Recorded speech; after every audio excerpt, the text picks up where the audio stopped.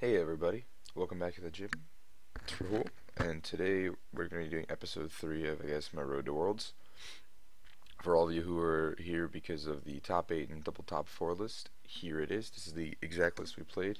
There was not a greedy die in the deck, popular to contrary belief.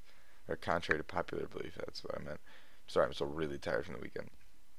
So what I'm going to talk about today is the deck itself. It's very simple. I'm going to talk about the event itself, which I really enjoyed, Florida Regionals, and my tournament experience, which are all three big things that I, I want to cover in this video, this video. It might be a little longer than others, but if you guys stick with me to the end, I promise you'll have a good time. So let's start off with the deck. Coming into the event, I knew I wanted to play a dark variant of some shape or form. I know Vespa Queen, I told you guys in the other video that Vespa Queen wasn't the play for this weekend, and I found that out a couple weeks ago just because of how the meta was shifting, where everyone was going with their decks. Uh, I tested the Gyarados deck that made top 32 a lot. That was the deck I was going to play for this event. That was the deck that I wanted to play more than any other deck. As the event grew closer, in my testing circle, I couldn't win a single game. I think one of the testing days I went 0-8 with the deck, including against favorable matchups like Volcanion. So I just put the deck aside and I was like, I need to think about everything again. And I was like, what is the most linear deck that has the least amount of clunking issues? It was Darkrai, Tina, Garbodor, or Yveltal Garb. Both decks, one which won the event, Yveltal Garb, piloted by Azul, and this Darkrai Tina Garb, which was piloted by myself, Bradley Curcio, and Ryan Sabelhaus. So I started talking to Ryan, and he tells me, hey, I think we're going to play Dark Tina. And I said, okay. And the night before, we talk about the deck, we try to figure out any small changes. He looks at me and says, Escape rope for PCL or Olympia, Pokemon Center lady. Think about it. I do. Next morning, we both decide that Olympia is the better option. And, um, yeah, we just, we, we hesitantly go into the event because we don't know in a field of 620 people what the actual meta is going to be. Because you never know. Deck is super straightforward let's just hop into the event. Olympia, I'll just give a quick explanation on that. The Olympia is legitimately just because it took the place of the escape rope in the deck that we had originally, and it heals 30 and switches. So you can kind of like use whatever attacker you want without being like, hey, I'm gonna get stuck in the active spot, and my one rope or my one or my float stone, if you have a uh, fighting fury belt attached, you're going to have to use energies to retreat. So it's like my one rope is going to have to come in handy here. Or you have an Olympia, which you can now theoretically play five of because of VS Seeker. Olympia won me so many games just because people would have to try to Lysander stall against me to break Giratina lock, and I would just Olympia. Sorry. And then it also in the mirror match and against Yveltal Mew or Yveltal Garb makes the math really funky for them. So it's making a two shot into a three shot, and when you're doing that in the mirror match, you're taking two shots respectively. So it's better for you. You're winning the trade overall. So that's that's Olympia. And the one enhanced hammer was also really with clutch all day. And I really loved it. So I'll just jump into the event itself. Orlando Regionals, run by some of my favorite people, Vince Crackler, Denise Crackler, Ronae Curry, and Randy Curry. Um, all four known to run some of the best events, so they everyone had high expectations coming into this event. But there was going to be like 600 plus masters, so nobody knew what was going to happen. Was like Arizona Part 2 going to happen? Was it going to be like nobody everyone was scared. I was astonished at how near flawlessly this event was run. I cannot believe that we played 9 rounds of Pokemon with over 600 plus people, had a lunch break, and were out of there before 11 p.m. Like, I just literally cannot believe that happened on day one. We get to the event. It was a super standard system.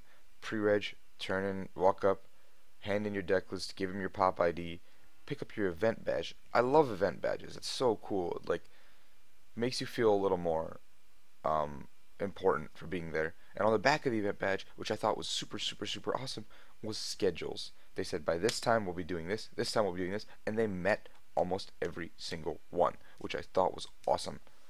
Um, so that's pretty much it. Tournament starts. We turn in our deck list. Everything's running really smoothly. They were running on time, so we were like, we got to get uh, do stuff fast.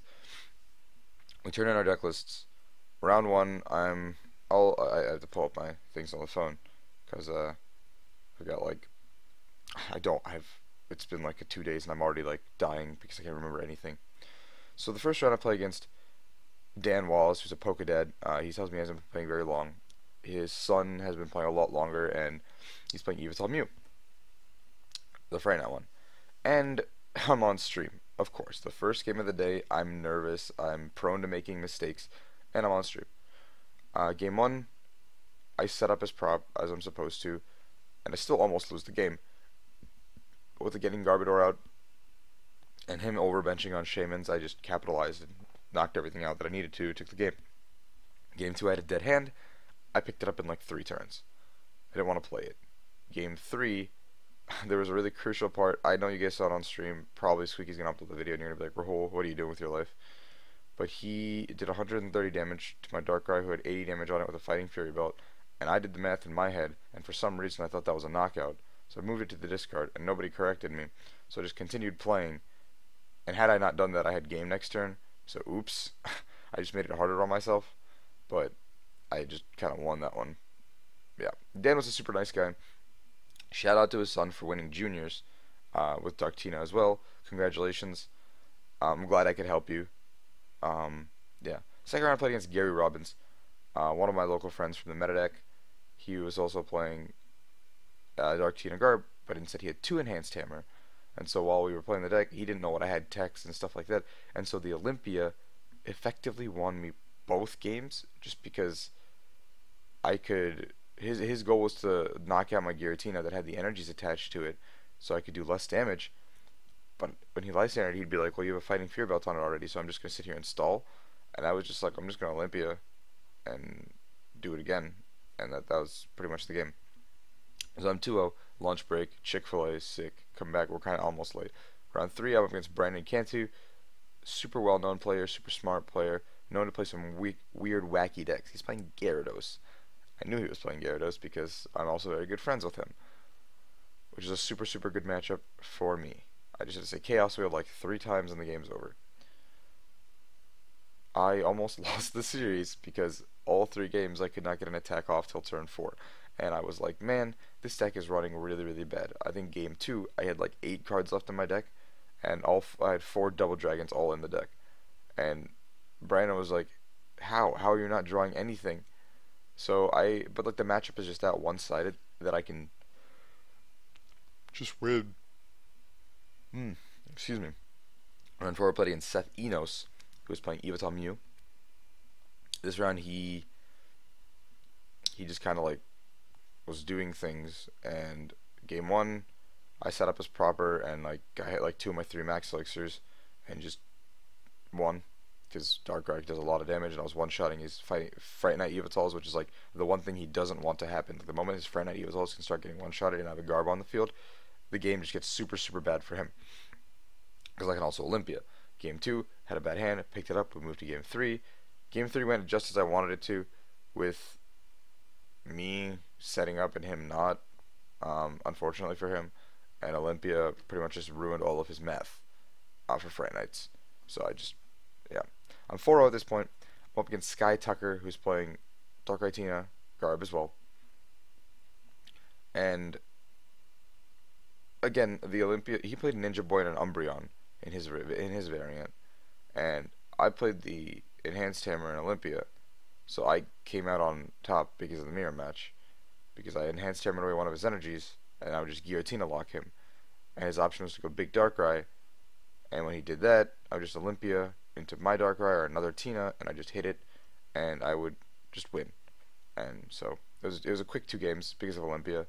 I like I know you guys are being like, oh, give us some more details. I'm like, I don't remember that much. I I don't because Olympia just did things, and my deck is so linear that 90% of what I have to do is attach an energy and choose which attacker to use. Like, that's why I picked this deck to play as well. So I'm 5-0, and I'm like, hey, I just have to dodge my friend Ryan for one more round, and we're both making day two. lo and behold, I'm playing Ryan in 60 card mirror. We look at each other, we take a look at the top tables to see what decks are up there, and um, we see that there's two Rainbow Roads doing very, very well, and a Vileplume box with Regice. We didn't know what was in the deck, so we were very, very scared of it at the time. We thought it was an auto loss, and the Rainbow Road's really, really bad as well. So winning would put one of us into day two, but then they would hit one of the Rainbow Roads or Plume boxes probably, and losing would put somebody in the bracket with those guys again. So we took strategic ID. I had 501, confident in our ability to win one more game before losing two. So, yeah. And we took the tie and we just like sat there and kind of like figured out what matchups are good for us, what are bad for us, and like where what the road is at, at the top tables to like scout out and like that's very important. Information is one of the most important thing players can use.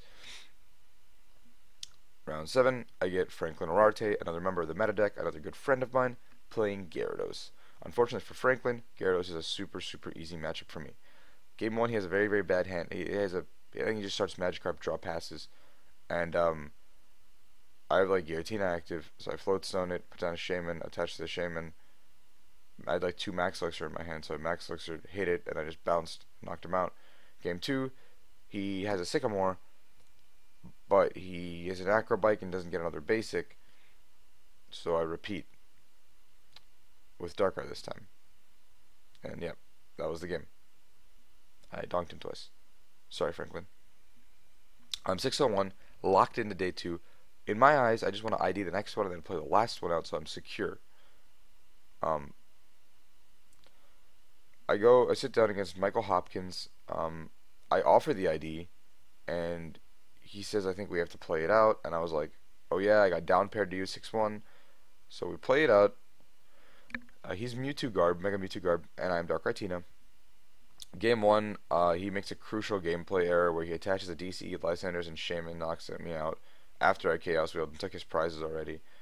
And, um, yeah, because of that, um, he didn't get a game loss. We both just got warnings because it was super reversible. But he just kind of scooped the game because he's like, I can't win um, if I can't even knock out a Shaymin this turn. So he just picked it up and we moved to the next one. And he got uh, a Trubbish down, the Floatstone, and then I got like a turn two. Oh, we did some stuff and then I Chaos Wheeled. I waited, I waited to Chaos Wheel, and then I Lysandered it up, the Trubbish, knocked it out with Chaos Wheel, and got my Stadium to stuck stick, and he was like, well, Lysander and I was like, Olympia. And he's like, all right, next good good series, good luck. So that was it. Here I am at 7:01. Um, not expecting to be here whatsoever over the course of the weekend. Um, I'm like pretty happy, um, but mostly tired. Um, and then I go up against Alex Schemanske, someone who just aged up from seniors. Very, very smart kid um, you can tell that seniors was his like playing field and he dominated for like a really good time. So I was like, hey, do you want an ID? Because he was playing Plume Box. And he said no. So we start playing it up. And game one, I start finding out what counts are in his deck, start kind of like figuring out what's going on with the deck. And I pretty much come into a dominant enough position where I can win the game in two turns. He uses Ice Beam. I stay as uh, I'm paralyzed. I have Garbodor out, so I can use items. I have two Trainer's Mails with like a 10 card deck. I use the first one to find the Olympia, I whiff it. Use the second one to find the Olympia, I whiff it, and then I pick up my cards because I needed to switch, retreat, go into, go back into Giratina and continuously lock him because he doesn't play that many basic energy. I presume two, maybe a third. I didn't see one in three games. I don't think anyone else did as well. So if they play 12 energy in that deck, it's super, super clunky. So game two, he just kind of clunked out. We moved to a quick game three. And game three, I was uh, what I did was I kind of like was gauging and figured out he didn't really play any other switch cards other than Manaphy. So I got I didn't get Garb out, but I had a good enough hand that I didn't want to. I didn't have a Sycamore, but I had a good enough hand where I could just sit, attach a couple energies to Darkrai, and wait wait to see where he put the rainbow energy. wherever he put the energy, I was gonna chase that. This feels like two Shaymin, a Plume, and like two Oddish, and he Jira- level balls for Jirachi, puts it down, puts a DDE on it or DCE on it, and like passes to me. And I'm like, okay, draw pass. He's like, draw pass. We draw pass, draw pass, like three more turns, and then he hesitantly attaches a rainbow to the Jirachi and passes. And he's like sitting on the Ninja Boy, and he's like, hmm, I can Ninja Boy, but like I don't know what I want yet, and like I need to retreat out of the active. And he's like, Rahul's just letting me attach energy. What a dummy. And I just looked at him, and I was like, attach double dragon, Lysander knockout. And he asked me, why didn't you use it the turn before? Because I didn't have to. Why is a DCE on the board a threat to me? Um, like I just didn't have to knock out that Jirachi the turn before. I could wait because he doesn't play any switching cards. It's just Manaphy and energies, so he needs to attach to the active to retreat it, and attach to something to attack with it. Like, what are you gonna do? Retreat into Jirachi, hit me for ten? Like, power to you, but I don't have a DD attached yet. I'm holding it. So that was pretty much that game. I was pretty shocked I won. Going into day two at 8:01. Um, first seed felt really good. Uh, I had to win like two games total, and I was like, I can do that. I go up against Igor Costa, round one, day two. Uh, he's playing Mewtwo Garb. The series got really, really close because game three, I couldn't um, get a stadium, so his shrine was still in play as I was hitting him, and he would continuously Lysander around and damage change onto it. Olympia literally saved me that game because I would get out of that and heal a little bit. The game got close. He got down to two prizes. I was at one. I had end the previous turn, and he needed to, I think, not hit a Lysander, and he had like three VS Seekers and two Lysander in the discard, and I was just like, "Do you have it?" Like I end you with like a 15 card deck, and he's like, "No," and then we just I won because it was really close. But the matchup is on paper very very good, and playing it through the tournament because they only play Garb and not Hex, it was really really good for me. If they played Garb and Hex, I'm in a lot of trouble. Yeah. So I'm 10-01, feeling really good. I get Alex Schemanske again. Sit across the table. I'm at 28 match points. Alex is at 27. I offer the ID because I didn't really want to play the matchup again. And at 29 match points, winning one more would secure me 100% of the time in. And with him and his resistance, winning one more would put him at 31, which is the bubble, but it's like almost certainly he's going to be in. So we took the tie, felt fantastic, got to look around, uh, see what decks were doing well, got to grab a bite to eat. It was cool. Uh, I know I'm doing one of my next three, and I'm into cut, so I was like, how, how do I choke this bad? Let's see how I pull it off. Um, next round, I get Addison Powell playing Gyarados, but his list was super unorthodox because it still played Balloons. He didn't play Octillery. He played two Shaymin and a Meowstic EX. And Meowstic lets you move one damage counter from one of your Pokemon to one of their Pokemon as an ability. Yeah, I was like, what? okay. Uh, I lost game one because I continuously dead drew after getting turn one chaos or like a turn three chaos wheel, and couldn't get a second attacker powered up. Game two I won because Giratina, and game three, it sort of I was like draw passing for like five turns, let him take like four prizes I want to say, um, and all those things had 20 damage on them, including his Gyarados, and then I was slowly powering up a Giratina. I got the Giratina off, and end him in the same turn, so he couldn't get what he needed but he got a VS Seeker for teammates to get like I think a VS Seeker and a Ranger or something, and I knocked something else out and paralleled him to three, I believe. And he like VS Seeker teammates again, got some more cards. and he like flipped his hand, it was like Ranger, DC, and like one buddy buddy, and I was like, yeah, that's not enough to win you this game. Sorry, pal. and um, because he can't Ranger Lysander in the same turn, so even after having a super super slow start, again the matchup is so favorable that I just can do that. I'm at 32 match points. I'm locked in the top 8. Feels really, really good out of a 620 man event.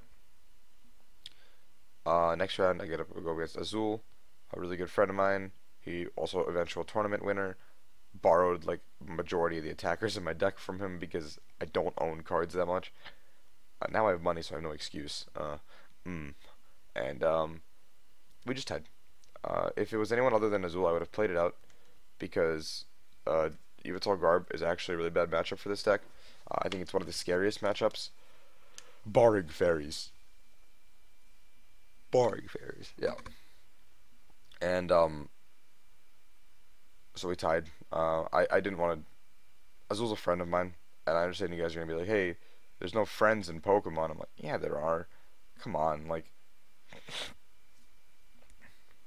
If I even if I played him, I probably would have lost. like I'll be honest. I didn't, and I didn't want to play it out. I honestly wanted to play. No, I didn't want to play as more games than I have to. So 34 match points now, or 33 match points. There was a scenario in which I could get a 30 pointer the next round.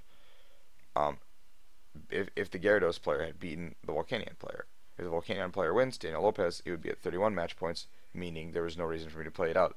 But if oh, the Gyarados player had lost, I would have played against either Mega Mewtwo Garbodor, Vileplume Box, or one of two fairy decks. And three of those four decks, I don't want in top cut. I don't want them.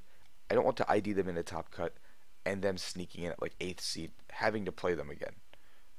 So if I had hit one of the fairy guys or the Vileplume box, I would have to play it out because I want to knock them out. And I'm number one seed no matter what happens at this point. Alex Schemanske is like two points below me. Doesn't matter. I'm going to be the first seed. I didn't get, uh, well, Daniel Lopez won with Volcanion against Gyarados. I don't know how, but he's a god. So we took the tie because it did not matter for standings whatsoever. And, um, yeah, we moved into top eight. And, uh, I knew deep in my heart that I was going to get one of my teammates playing the exact same 60. And I wasn't okay with it, but it was like I think like 0.05 or something on opponents' opponents that I got one of my teammates as opposed to John Orgel playing Mewtwo Garb, which is a much more positive matchup. Um, yeah, it was a much more positive matchup than a mirror match, 60 card mirror, which is always dumb. Um, where we I get standings go up. Um, it's it's one of the most stacked top eights I've seen in a long time. Myself, Azul, um, Alex Schemanske, um, Igor Costa, who's back, and I'm very glad. It was a fun time hanging out with you this weekend, Igor. Um, Ryan, Brad, and like couple, and like John Orgel and whoever was the last guy. Oh, Daniel Lopez. Yeah. So it was like eight name players that all made cut, which is insane for a 620 man tournament. And the most insane thing on top of that is that me, Brad, and Ryan were playing the same 60.